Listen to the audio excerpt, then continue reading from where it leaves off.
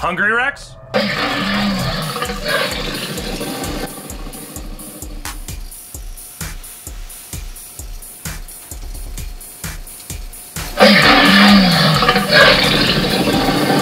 Welcome to Robit Factory. As you will remember from 37 minutes worth of part 12 and me trying to kit bash code together to get our MP3 player to work along with the existing code, I failed mightily. Send command was not declared in this scope. Void send command. Sure looks like I declare it, don't I?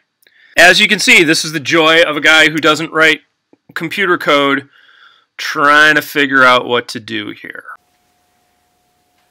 So looking at the wiring for a second, we have the MP3 module, which is wired just with its basic setup, TX, RX, VCC, and ground, shared by the Arduino Mega. The way I changed things to work hardware-wise is that now our Geeetech voice recognition module is running off of um, serial bus 1 on the Mega, and our MP3 module is running off serial bus 2. So now, with these two different serial inputs running, we can go ahead and run both devices. They'll communicate through the software without any problems, allowing Rex to both listen and speak. And by using serial 1 and serial 2, uh, we leave the serial ports, uh, the pin 0 and 1, the serial bus that's shared with our programming port open so that we can leave everything wired in and reprogram on the fly if we need to.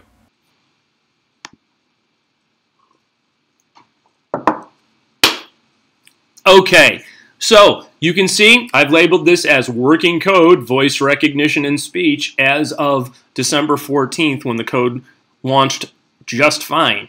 So what I did here is I have included the variable speed servo library that we're using, declared my jaw, declared my eyes, declared my servo objects. You'll notice that initially I had been declaring my next servo pins in their own lines of code.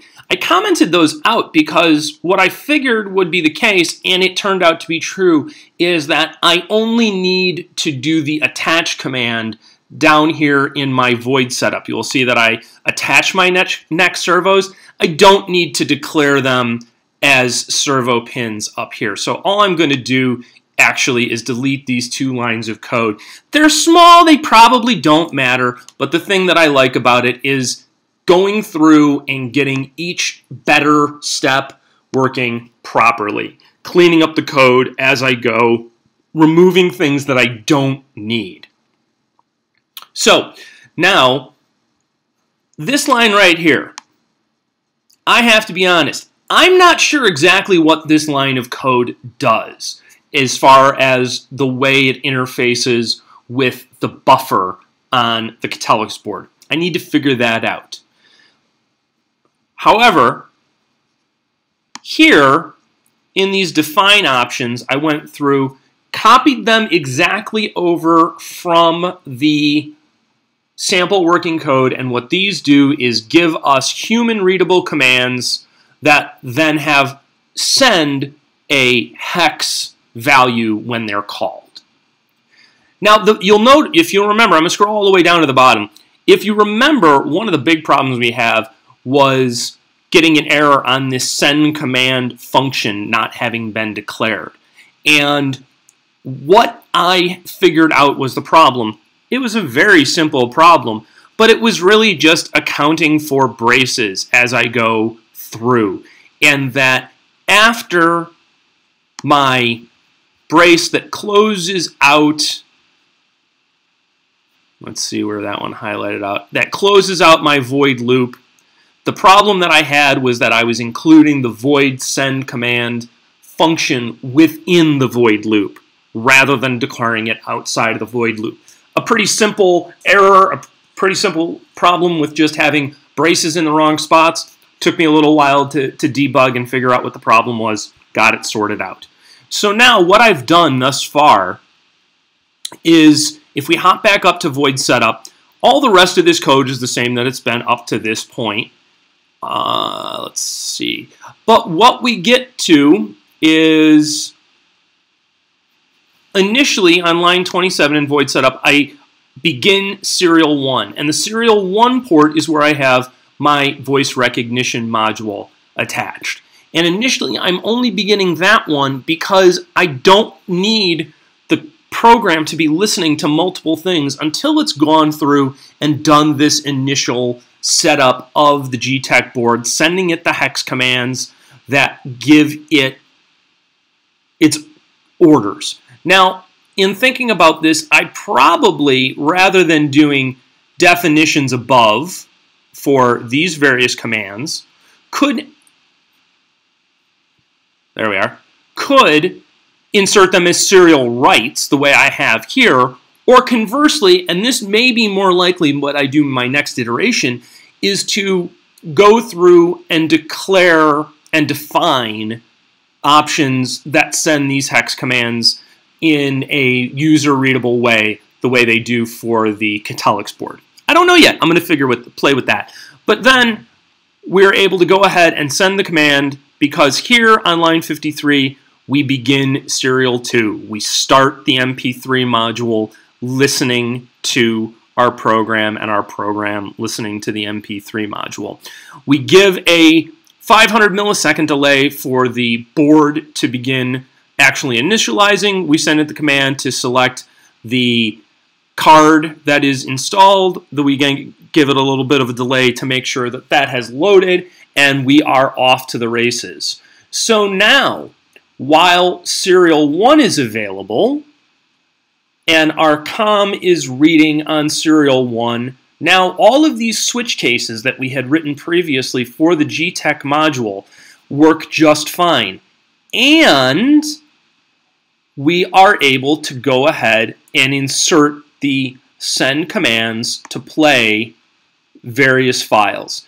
Now, right now, you've seen I've just installed and gotten working voice feedback, roaring, we shall call it, on two of the commands, the or two of the cases, the Hey Rex and Hungry Rex cases, and can go ahead and do more what you'll notice, the one thing that I had happen here that I wasn't really thrilled with is that because of the amount of time that it takes for this second roar to occur, I need to figure out what the delay is between sending this command, that file completely playing, and then writing Rex back to her resting state of eyes off and jaw light off.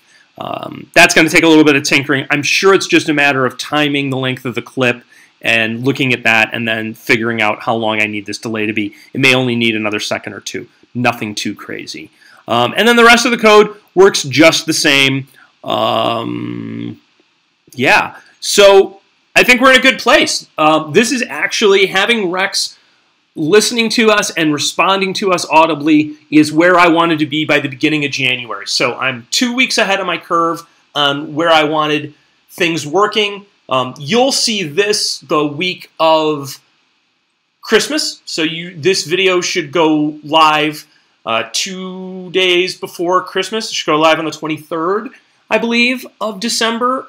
And you'll see it just before Christmas. Um, so by the time we get to the next Rex video, we're going to really be talking about what our options are for now starting to move forward with getting Rex walking.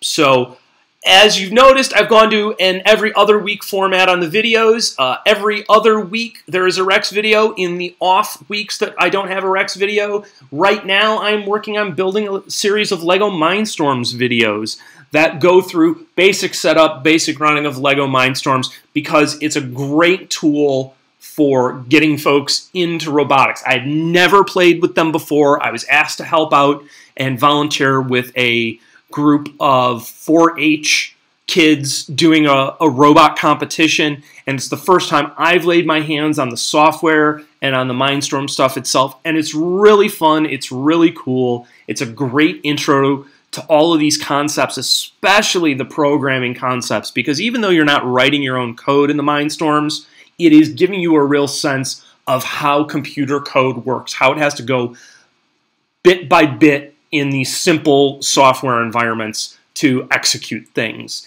and to think about flow control and stuff like that. So I hope you'll check those out as well. Um, it's not all robot dinosaurs, it's also Mindstorm's robots. And I'm going to continue to throw in occasional how-to videos when questions come up, like I did with how do you convert a USB cable to power a solderless breadboard. So, thanks for stopping by. Please like, share, subscribe. If you want to make sure that you receive every video in your inbox when you subscribe, go ahead and click on the little bell next to the subscribe button and it will send you a notification. Look forward to seeing you next time. Cheers.